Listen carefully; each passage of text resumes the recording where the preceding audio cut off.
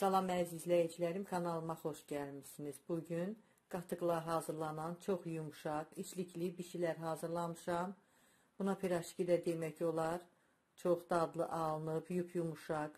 İndi keçək hazırlanma qaydasına. Qaba 1 stəkan ilıq su, 1 çay qaşığı şəkər toz əlavə edirəm. 1 çay qaşığı quru maya qarışdırıram. Şəkər tozu ilə mayanın əriməsini gözləyirəm. Qarışıma 1 stəkan qatıq əlavə edirəm. 1 çay qaşığı duz, tam dolu olmayan.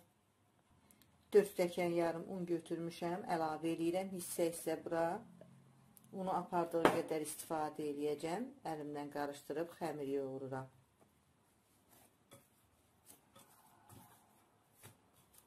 Belə bir xəmir alındı. Xəmirin üstünü örtüb 45 dəqiqə mayalandırıram. İçlik üçün tavaya az duru yağ əlavə edib, bir ədəd xırda doğradığım soğanları əlavə edirəm. Əvvəlcə yağda soğanı biraz qovururam.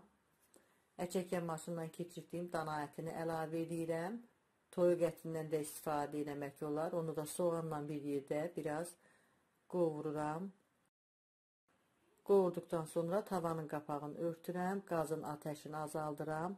Qoyuram qalır. Bir 15 dəqiqə Ət öz suyunu salır, öz suyunda bişir. Arada bir tavanın qapağını açıb qarışdırıram. Duz, istiyot əlavə edirəm. Yenə qapağını örtüb qoyuram. Tam suyu çəkilib yağa düşənə kimi qalır, bişir. Qiyməm artıq demək olar ki, hazırdır. Ətin suyu çəkilib, yağa düşüb. Az qovurub, ocaqdan götürüb qoyuram qalır, soyuyur. Xəmirim artıq mayalanıb. Havasını çıxardıram. Masanın üstünə qoyub xəmiri bir yerə yığıram. Uzunsov şəkil verirəm. Əvvəlcə iki hissəyə bölürəm. Sonra hissələrə bölüb kündələr eləyirəm.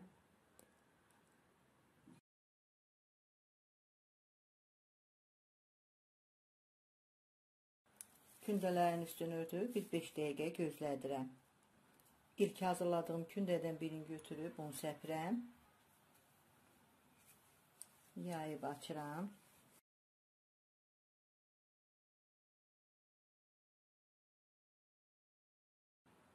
Arasına içlik qoyuram.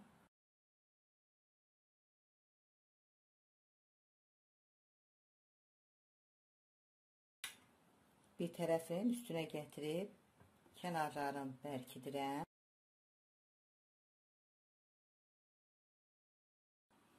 Kənarlar düz olsun deyə belə kəsəndən kənarı kəsirəm. Hamısını belə eyni qaydada hazırlayıram. Tavya yağ qoymuşam. Yağ qızmar olandan sonra hazırladığım bişiləri yağda qızardıram. Qızmar yağdan qaşıqla xəmirin üstünə gəzdirirəm. Onda xəmir çox yaxşı qabarır, şişir. Çox yumşaq, yaxşı xəmirdir. Bir üzü qızardıqdan sonra çevirirəm o biri üzü də. Hər iki üzünü bişirib qızardıram. Bişdikdən sonra qaba çıxardıram. Hazırladığım bişirlərin hamısını eyni qayda ilə yağda qızardıb götürürəm.